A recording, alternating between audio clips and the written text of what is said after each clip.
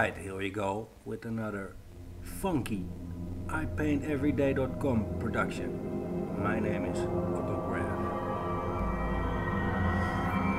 You know how you sometimes just wanna practice your drawing or you just wanna do, I don't know, what's the English word? Finger practice or something. So you start drawing uh, an eagle that you saw somewhere Actually, it's the logo for my tennis racket, but that's a whole different story.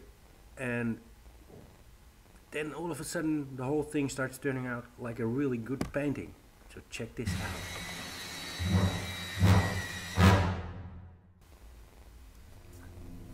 So I'm, uh, I started off with drawing the eagle with a really thick marker, and now I'm painting the background in a minty green kind of color.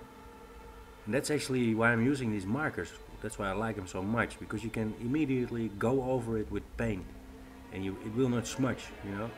I don't know any other medium that can do that. Maybe spray paint, that if you spray paint the lines first and draw over them immediately. So there's no waiting time.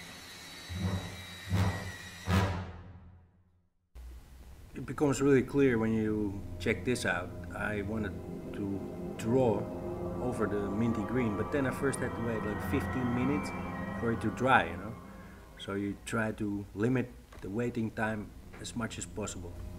Like I said, I got this, I just bought a new tennis racket because I broke the other one. And I found this eagle kind of logo on the, on the sleeve of the tennis racket. And I'm just wondering, what does, what does this eagle have to do with tennis? Somebody know it, somebody call me.